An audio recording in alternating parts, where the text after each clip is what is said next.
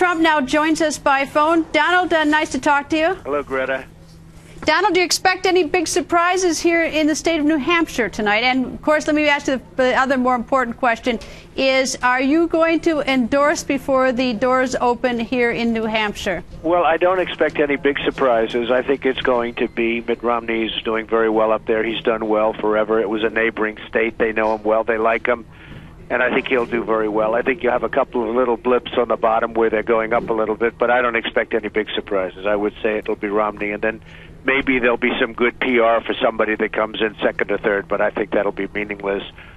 I mean, I'm Is thinking about somebody. I'm thinking strongly about somebody, and people are calling and they're asking and all, and it's sort of an interesting situation I placed myself in. But I am thinking about somebody, but I'm not prepared to do anything yet. Oh, well, you're running out of time if you want to do it before the New Hampshire primary, because according to my, it's like an hour and 59 minutes. Or, uh, Well, I won't be doing and 50 minutes now. anything.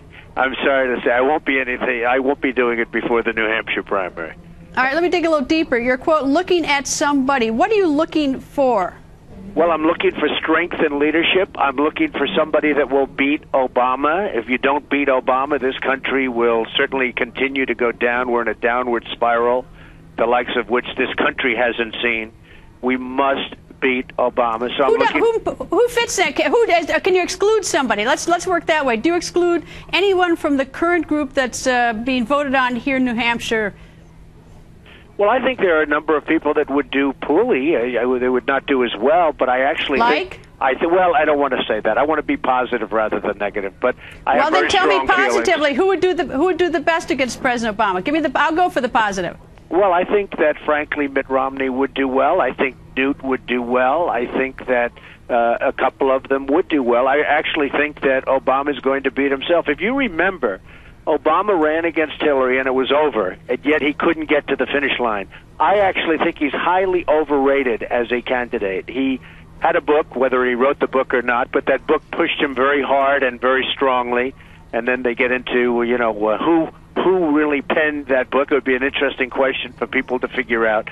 But he What, really he couldn't wrote the close book? the deal. He Wait, he- really could. I don't believe. uh, You know, I think somebody else had a lot to do with that book. I think he wrote the second book, was was certainly not a masterpiece. I'm very good at books, and it certainly wasn't a masterpiece. You really you really don't think he wrote his two books? No, I mean, don't. think I think he wrote his ghostwriter? second. No, I think he wrote his second book, and maybe he had something to do with the first book, but not not as much as people would like you to believe. But the book was a very instrumental thing. He couldn't get over the finish line. Hillary was winning race after race. He was winning every single night. It was, and then he limped over the line. So I actually think that he's meant to be beaten. I think that he's going to beat himself in the end if they have the right candidate. If they put up the wrong candidate, it will be a disaster for this country.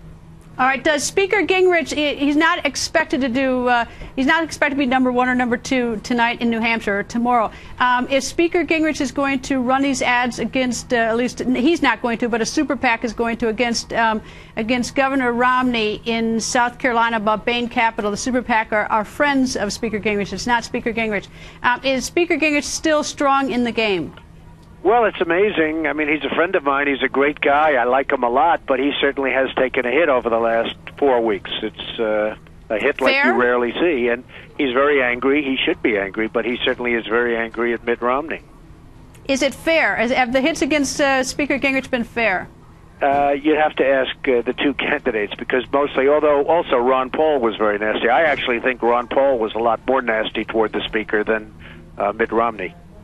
Could spe- could Ron Paul, Congressman Ron Paul, beat President Obama in a general election? Do you think? No, I don't believe he could. Okay, so he's out in terms of your candidate because according to your criteria, he's anyone- out. He's No. out. He's out. Okay, No, he's out. He's uh, Um, he is out absolutely. How I about don't Senator believe Santorum? I don't believe he would have a chance. could Senator Santorum beat uh, President Obama in a general? I don't think it would be easy. I don't think it would be easy, but I, he's certainly one thing I have to give him credit. He's in there. He's pitching. They ask me to do speeches on success, and one of the things I say is never ever quit, never give up. And he was hovering at around one percent for the entire thing, and then all of a sudden he shot up. I mean, he got a great endorsement uh, endorsement from Bob Vander Plaats, who's a fantastic guy in Iowa, and that really helped him a lot. And I think Bob didn't get enough credit for that, frankly, but that really helped him a lot. But he never quit. He never gave up, and that was very impressive. But I think he's going to have a very, very hard time going the rest of the way. He doesn't have the organization or the money, and I think he's going to have a hard time. How about uh, Governor Perry? Well, it's amazing. Uh, you know, I think he's been a very good governor of Texas. He's a friend of mine. I like him a lot, but the train seems to have passed. I mean, he doesn't seem to be in the discussion. I, I'm listening to you tonight, and you're talking about everybody, but his name hasn't even come up. And, you know, it's an amazing thing. When he first came out, everybody assumed he would just automatically walk in. It's a rough business politics. There's no question about it.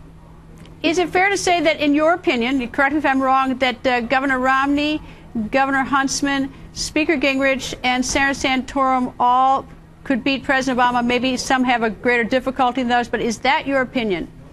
Well, I think Huntsman would have a hard time because he worked for him. And, you know, they can say all they want that he went, you know, he loves the country and he did this work for Obama against China or with China. But if you look at what China did to us over the last four years or over the years that Huntsman was ambassador to China, I mean, they just, they just took the lunch right off our plate. So I would have a very, very hard time ever endorsing Mr. Huntsman because I don't like what China has done to this country during his watch. His watch uh, has been a complete and total disaster.